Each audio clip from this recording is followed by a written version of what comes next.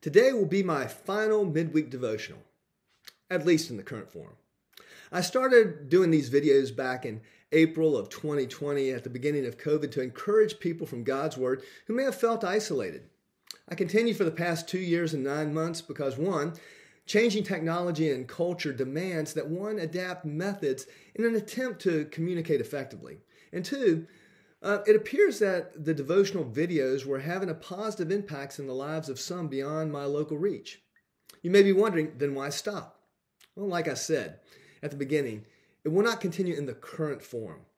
While I will continue to produce online content, it will not be on a weekly basis as before. It started off weekly because at that time, that frequency was needed. Since I'm not trying to build an online following, daily or weekly content creation isn't necessary. Also, as I invest more time in personal discipleship, something just has to give. My hope is to produce online content in two different formats, one to two times a month, and expand the platforms on which that content may be found. If this plan works, then you will know about it.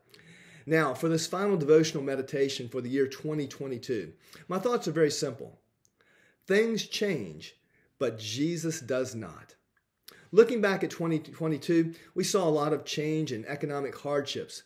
And looking forward to 2023 on a global scale or for us individually, we honestly do not know what might happen, whether big or small, good or bad. Ecclesiastes chapter 3 uses the word time 18 times. And that chapter was the inspiration for the 1965 hit by the rock band The Byrds called Turn, Turn, Turn. Well, the times, they are changing.